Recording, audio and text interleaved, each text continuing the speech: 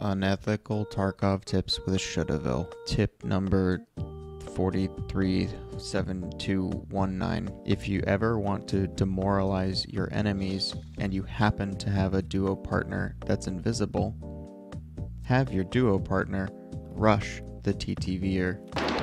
Upon this, he will be scared. Oh, he's. Did you shoot?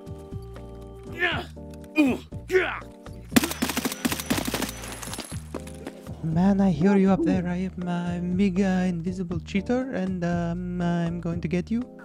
Are you in? Yeah, it's me in. Is that you? I'm prone.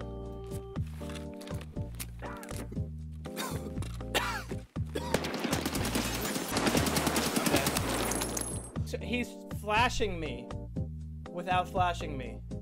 So yeah, he's ha- he's 100% hacking.